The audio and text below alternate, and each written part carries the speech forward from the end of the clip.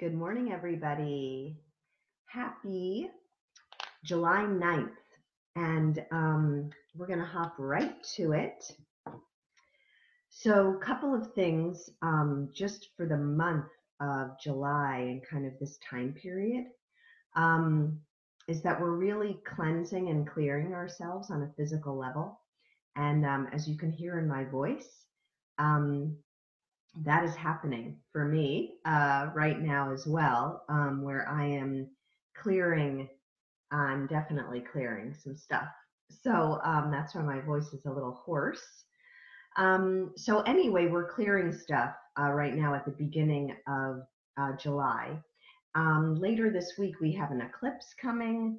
We have a new moon coming, bringing in a lot of new energy, and um, and this is uh, you know, going to be raising all of our vibrations, which always, you know, it sounds like such a, a great idea, and um, and that it's going to be helpful. But sometimes, and I feel like this is one of those months that feels a little bit of um, slogging through stuff as we're raising our vibration. So um, the good news is that we will feel lighter by the end of the month um, certain things will really fall into place by the end of the month, uh, end of July, beginning of August. Um, and we'll really feel like a big weight has been lifted off of us. So I am so looking forward to that, I must admit. Um, so it starts off a little bit slow with like, or it's been slow for me, um, kind of in a holding pattern. Um, and uh, we can it's like we can see our blessings um, but they haven't come in yet. Uh, and so um, you know we it's like we can't dive in quite yet. We need to do some more releasing um, and do some more waiting and really practice some patience. And um, and that can be challenging. You know we can feel that that we're being pushed. We can feel that we are um, high Yes, tension headaches the last three days. Exactly. Um, exactly. So some of us will be feeling, will be having some symptoms um, for sure. Um, so this is a time to realize that you could feel frustrated or upset very easily. Um, frustrated that it's you know, like I see it, I feel it, but it's not here yet. Um, or why am I symptomatic? Or why am I feeling like crap? Why do I need extra rest? And um, I I suggest or um, you know would recommend that you take some deep breaths. And actually, that's a part of um, our cards today to allow yourself to not get upset. Um, and and I, I think that's really critical right now is to take some steps back from your life and know that it's all coming. This is your confirmation of that. So the universe is not quite set up yet for all that is to come. Add more meditation, more yoga, more self care. So whenever we feel that we're up against those jagged edges, that's what we do. We add more self care. So um, you know, I have some extra healing sessions this week. I'm going to float this week. Um, I am getting adjusted. Um, yeah. So do all of those things that you know work for you. Get a massage, even, you know, do more yoga. Um, also get out of your environment. Maybe take a trip, even if it's just a day trip. Go do something different. Have a little adventure with yourself. Uh, be in nature it's hugely, hugely helpful. There's probably nothing more helpful than that. Um, so it's that's like an active waiting.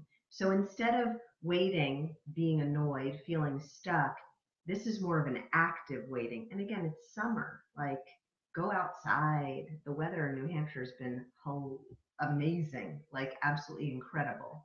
And so, so if you're feeling that way, go and do that. Um, you can just also practice living that life. Start to really um, envision what's coming and um, enjoy that in your dream state right before going to sleep or right uh, when you wake up in the morning. So our gemstone of the week is rose quartz, and um, rose quartz supports the heart in all ways. It it also eases emotional um, stress, anxiety, and fear. So that's perfect for what I'm talking about for this week. It also brings unconditional love. So this is my beautiful um, rose quartz angel that a dear friend uh, gave to me that I have on my altar and I love, and I've been hanging out with her all morning. So um, the next thing is our oil of the week is cassia. So cassia um, smells kind of like cinnamon. I say it smells like a fireball. I don't know if any of you used to be into fireballs. I was like, I'm crazy for cinnamon. So I love it. Um, this is a hot oil though. So remember to um, dilute it. You can use it on your solar plexus, which is kind of, you know, right above your belly button below your um, sternum. And, um, you know, this is going to bring some fire in and um, keep us all awake. Um, it brings wisdom though, and and it helps us to access our self knowingness and and wisdom in our life. It also brings some self assurance and courage. But just be aware that it um, is a hot oil, so dilute it. You can also just smell it. You can use it in the um, diffuser. I also love the way it tastes, and it's a little bit sweet. Um, so I recommend doing that, having a little on your tongue. It's so delicious. It's less, there's a sweetness to it, unlike cinnamon. So, anyway, enjoy it. Okay, uh, next is from our Power Animal Oracle cards. Raccoon is who we got this morning. And raccoon is about uh, resourcefulness, ingenuity, um, being clever, and this is reminding us we have everything we need. Relax. Relax. I'm trying to relax. If I can relax, we all can relax, right? So relax into knowing that you have everything that you need. And as things are coming, and you can see them coming this month, but they're not coming quite yet, remember that, oh, yeah, I have everything. I don't have to keep looking outside of myself. I have it all. I have it all inside of me already. So that's um, Raccoon. Our next card of the week is from our moon deck. And this is um, the rhythm of my breath directs the rhythm of my life. And um, again, it's this reminder to when things are feeling uncomfortable to breathe. This is a quick, easy way to come to our sacred truth, to come back to ourselves in a big, big way. Um, and we have access to this any time of the day or night. So when you start to feel those jagged edges, possibly some frustration of things not moving quickly enough, um, breathe. Just come back to your breath. So so easy to say, right? Um, okay, third card from our new deck that I'm freaking out loving, Work Your Light. I love I love this woman, Rebecca Campbell. She has some books as well.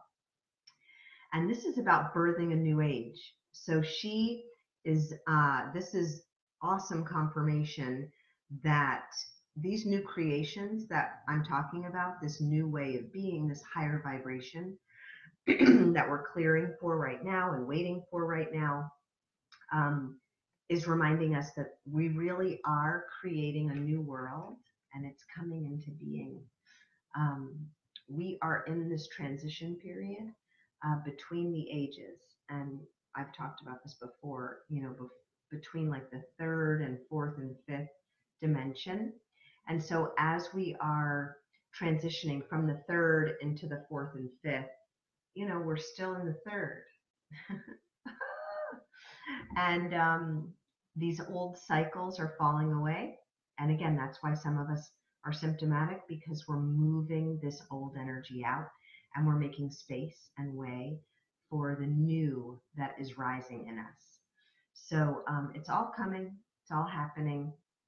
And this is some advice in terms of how to um, breathe into that, how to know that we're, you know, that it's that we have everything that we need, but also know we are literally birthing a new age right now.